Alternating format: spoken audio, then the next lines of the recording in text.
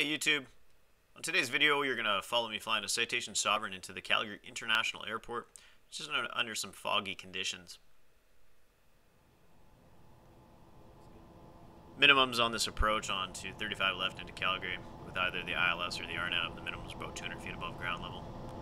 Today I think the uh, ceiling was about 400 feet.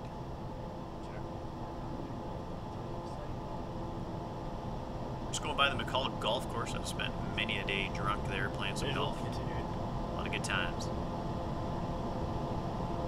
Of course, that McKnight Boulevard we're just going over. Visual landing.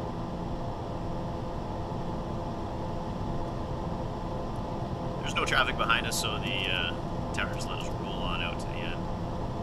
As our uh, FBO is on the north side of the uh, Calgary International Airport.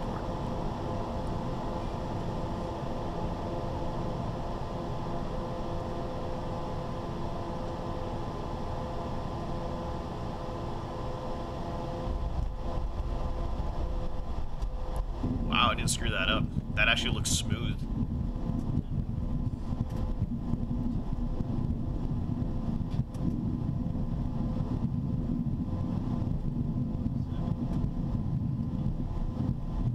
Yeah.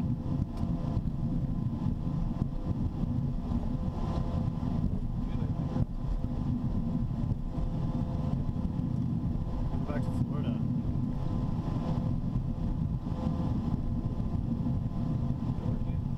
Shake and bake. Might have noticed as we came into the flare there, those little lights up on the dash there. That's our angle of attack indicator.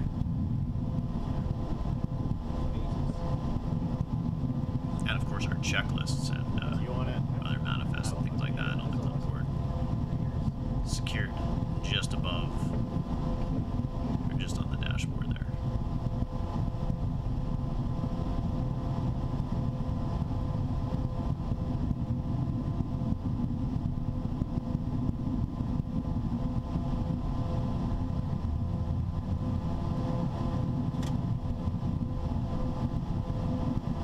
Just onto taxiway Juliet. If you look over forward there, it looks like a DC-9. I think it was the Columbus Blue Jackets. This, of course, was last year or the year prior when we were just we were actually playing hockey. So I think the Columbus Blue Jackets uh, team jet was getting de-iced. Jack. Yeah, I know. I'm not following the uh, DC-9 or yellow line. Terrible. Looks like a DC-9. Anyway, I hope you like this video.